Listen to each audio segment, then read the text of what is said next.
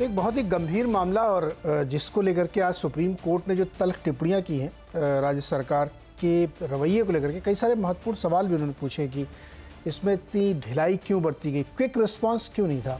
जो संवेदनशीलता को दर्शाता है कि सरकार किसी मामले को कैसे टेकअप करती है, ये एक बहुत ही सेंसिटिव इशू है।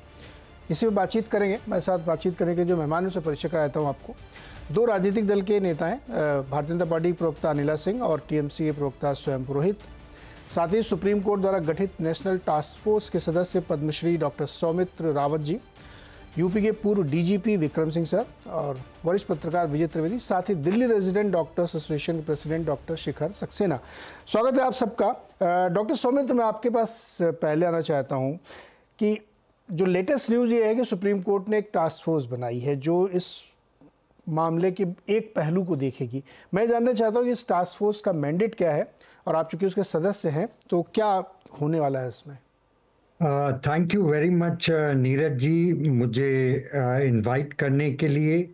जो टास्क फोर्स का मैंडेट है वो honourable chief justice of India justice Chandrachud ने बड़ा क्लियरली अपने जजमेंट में बोला है इसमें जो दो चीज़ें हैं जिन पे आ, हमें फोकस करना है कि हिंसा को कैसे प्रिवेंट किया जाए और सुरक्षा डॉक्टर को कैसे दी जाए।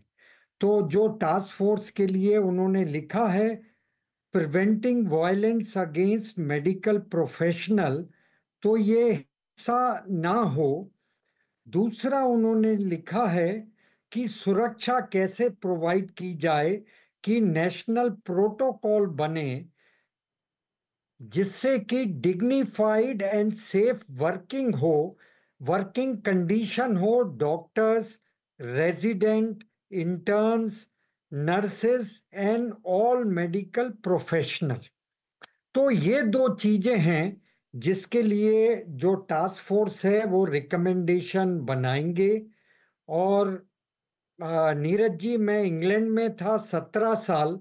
मैंने सारी अपनी एडवांस ट्रेनिंग इंग्लैंड में करी थी और फिर मैं वहाँ कंसल्टेंट भी था सर्जिकल ट्यूटर भी था royal college of surgeons of England का।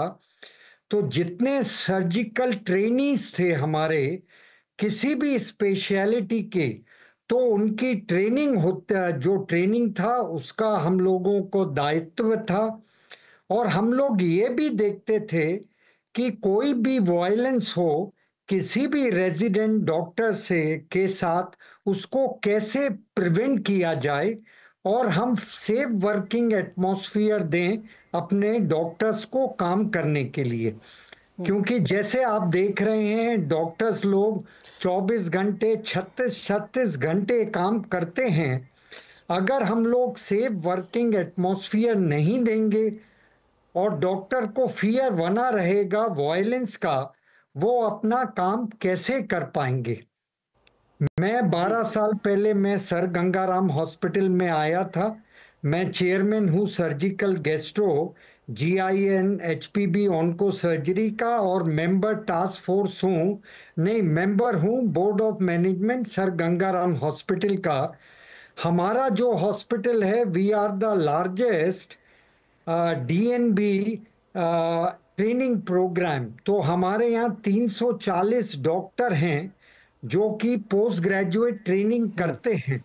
जी। हमने जो भी हमारे मैनेजमेंट बोर्ड के मेंबर्स हैं हमारे जो चेयरमैन मैनेजमेंट बोर्ड के doctor Ajay Swarup and trust society के चेयरमैन डॉक्टर राणा वो लोग पूरा ख्याल रखते हैं कि स्वामी सर। कंप्लेंट हो उसमें डॉक्टर स्वामित नहीं होनी चाहिए। एक चीज़ समझाइए डॉक्टर साहब हाँ जी। इस इस वक्त लाडली दो तरीके के हम लोग हॉस्पिटल देखते हैं एक बहुत बढ़िया प्राइवेट और एक सरकारी। सबसे ज़्यादा कहाँ दिक्कत आती है सरकारी वालों में या प्राइवेट में भी सुरक्षा की बहुत ज़्यादा कमी है? देखिए ये ऐसे जज करना ठीक नहीं है। ये इंस्टीट्यूशन टू इंस्टीट्यूशन है। मैंने अपनी basic M B B S M S और जो रजिस्ट्रारशिप मौलाना आज़ाद मेडिकल कॉलेज से करी थी L N J P hospital जो दिल्ली में है मौलाना आज़ाद मेडिकल कॉलेज हमने कभी अपने आप को असुरक्षित महसूस नहीं किया था। हमें मालूम था हम काम करने आ रहे हैं और हमारे लिए जो भी सुरक्षा होगी वो प्रोवाइड की जाएगी। जी। अब ये है कहीं ना कहीं जो सिस्टम के जो गवर्नेंस होती है सिस्टम का देखा जाता है कि दिक्कत कहाँ है। अगर आपने पहली बार ही किसी ने कंप्लेन किया है आपने उसको नोटिस किया और उसको आपने सॉर्ट आउट करा वो दूसरी बार होना नहीं चाहिए। जी डॉक्टर साहब एक चीज़ बताइए मुझे। जैसे आप आप लोग तो आप तो खैर बहुत सीनियर सीनियर हैं हॉस्पिटल, लंबे समय तक काम किया। आप लोगों के, यानी डॉक्टर्स के, हॉस्पिटल्स के पुलिस से कैसे संबंध होते हैं? इस समय आप लोग जैसे कुछ घटना हो गई, फ़ोन करते हैं तो क्या रिस्पांस मिलता है?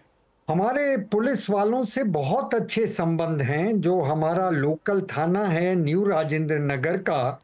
अगर हम लोग कभी भी उनको बुलाते हैं, वो तुरंत आते हैं। लेकिन ये भी है कि वो जो हेड ऑफ़ द इंस्टीट्यूशन हैं, जैसे डीन हो गए मेडिकल सुप्रिटेंडेंट हो गए मेडिकल डायरेक्टर हो गए या चेयरमैन हो गए, अगर वहाँ पर ढिलाई हो जाए तो फिर दिक्कत होती है। इसमें आपको बिल्कुल स्टार्टिंग में ही जो भी दिक्कत है, उसको पकड़ना चाहिए। और उसको उसके लिए जो भी आपके एफर्ट्स हैं कि इसको कैसे ठीक करें वो करना नहीं तो आप ये क्या ये कह रहे हैं आपकी डीन गड़बड़ करते हैं क्या अगर नहीं नहीं गड़बड़ मैं ये नहीं कह रहा हूँ कोई भी हाँ। गड़बड़ करते हैं लेकिन हाँ। मैं ये कह रहा हूँ कि हर हॉस्पिटल में कमेटी होती है जैसे हमारे यहाँ हर चीज़ की कमेटी बनी हुई है जैसे हमारे यहाँ अगर कोई फीमेल कंप्लेन करती है तो हमारी कमेटी में जितने सीनियर फीमेल डॉक्टर्स हैं वो इन्वॉल्व होते हैं।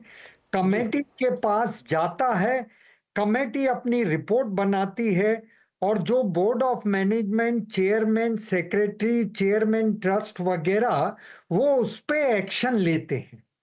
लेकिन यही है एक्शन तुरंत होना चाहिए और जो भी आपके वो हैं कि जहाँ प्रॉब्लम है उसको करेक्ट करना बहुत ज़रूरी है।